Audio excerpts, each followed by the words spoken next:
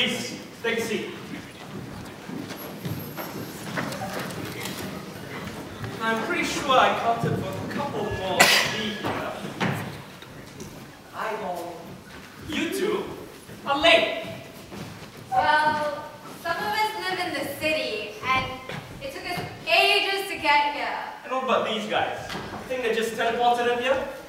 Come on, don't do it again. Take your seats. Now, as we're all in this together, I figure introductions are necessary. My name is Paul, and some of you may know me as the crazy engineer from Churchill, which I do not prefer. And this here is Simon. Guys, how y'all doing? So, welcome one and all to this rather awkward gathering of mismatched relations. This year, we're about to embark on one of the biggest party crashes of all time, if I may say so myself.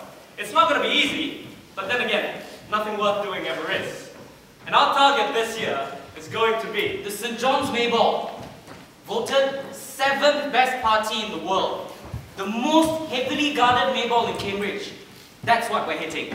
It's going to be our wins against theirs, which is precisely why I find Simon here. Care to enlighten them? Hey guys, by night, I'm one of you. Someone who's sick of the elitism and the exclusiveness associated with the John's Mayball. Someone who wants to see that anyone who wants to have a good time can have a good time, whether you've got the moolah or you don't. And my day, my boy over here is the head of security at the St. John's May Ball Committee. Now, assuming you guys can put two and two together, I can, I can, I can.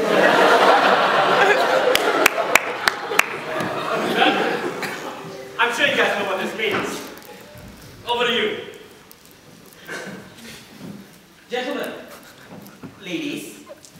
Give you St. John's College. Second richest and largest college in all of Oxbridge after Trinity. But they probably stole the money from us. Home to the Mayball to get into. Held across six courts. Free flow of champagne all night. I'm talking about the good stuff. Oysters, sushi, bouncy castles. And the headline acts? High profile. Think Calvin Harris, guys. But here has a real problem with sharing, you see. They've got anti-burglar paint, guards around the perimeter, and the eyes of a crazy committee always looking out for you. What we're about to propose is highly lucrative, but, and I emphasize this, highly dangerous. Deaning, as some of you may know, is the least of your worries if we get caught. So, this doesn't seem like a particular brand of vodka, feel free to leave.